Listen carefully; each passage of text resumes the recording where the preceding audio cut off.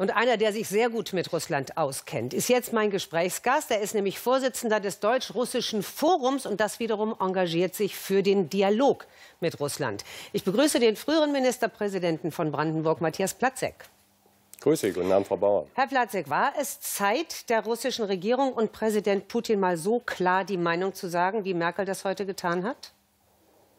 Ich war sehr froh, dass heute vom deutschen Außenminister Frank-Walter Steinmeier aus Brüssel zu hören war, dass es nicht sinnvoll ist, mit weiteren Wirtschaftssanktionen zu arbeiten, sondern dass wir dringend den Dialog mit Moskau suchen bzw. fortsetzen müssen, weil ich der festen Überzeugung bin, dass wir schon in diesem Konflikt an die Grenzen der Irreparabilität langsam herankommen und deshalb ein weiteres Drehen, an welcher Spirale der Eskalation, ob verbal oder mit Sanktionen, wie auch immer, nicht angesagt ist. Sie kommen und ja gerade von einer Russlandreise zurück, Herr Platzig. Mhm. Wie haben Sie denn dort die Stimmung erlebt? In der Bevölkerung, bei Menschen, mit denen man so ins Gespräch kommt?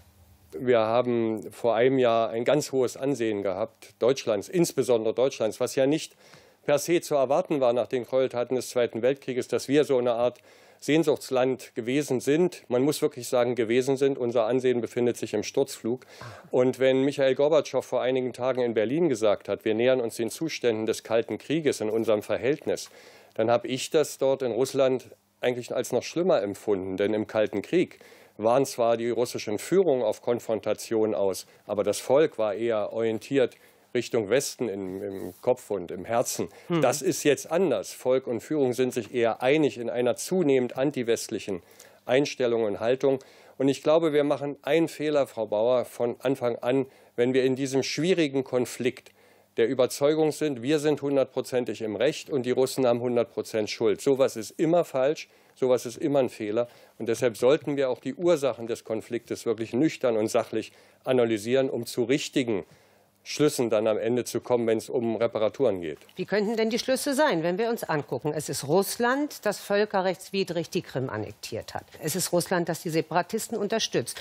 Soll man das also jetzt hinnehmen, weil man vielleicht selbst Fehler in der Vergangenheit gemacht hat? Das geht doch auch nicht. Also, einer der Schlüsse ist mit Sicherheit, dass wir über viele Jahre das Sicherheitsbedürfnis, die Einkreisungsangst Russlands nicht ernst genommen haben.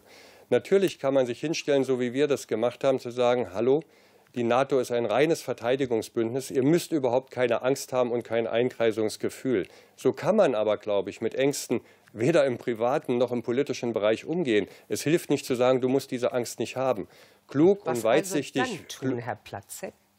Wollte ich gerade sagen, Gut. klug und weitsichtig wäre es, diese Angst, dieses Gefühl, in die eigenen Konzepte und Konzeptionen mit einzubeziehen. Und deshalb ist für mich einer der wichtigsten Punkte, den wir auch zu lernen haben. Russland wird dringend, auch da hat sich nichts geändert, uns brauchen für die Modernisierungspartnerschaft. Die sind mit ihrer Volkswirtschaft überhaupt nicht vorangekommen. Aber wir werden, und diese Modernisierungspartnerschaft nutzt ja uns perspektivisch auch sehr viel. Aber wir werden diese Modernisierungspartnerschaft nicht bekommen, wenn sie nicht im Einklang steht mit einer Sicherheitspartnerschaft auf Augenhöhe. Das ist nötig. Das ist eine der Ursachen dieses Konflikts, dass wir das alles nicht hinreichend berücksichtigt haben. Und wenn wir das auch künftig nicht tun, werden wir nicht zu einem einvernehmlichen, einigermaßen einvernehmlichen Verhältnis kommen. Egon Bahr hat das schön in einen Satz gefasst. Die Beziehungen zu unseren amerikanischen Verbündeten sind unverzichtbar. Aber Russland auf dem europäischen Kontinent ist unverrückbar. Das heißt, wir sind schicksalhaft aneinander gebunden und müssen deshalb diese Erkenntnis auch der russischen Gefühlslage mit in unser Kalkül einbeziehen. Matthias Platzek, der Vorsitzende des Deutsch-Russischen Forums. Vielen Dank für das Gespräch. Danke Ihnen auch.